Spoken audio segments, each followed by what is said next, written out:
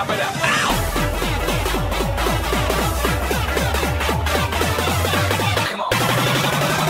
name is Mr. C.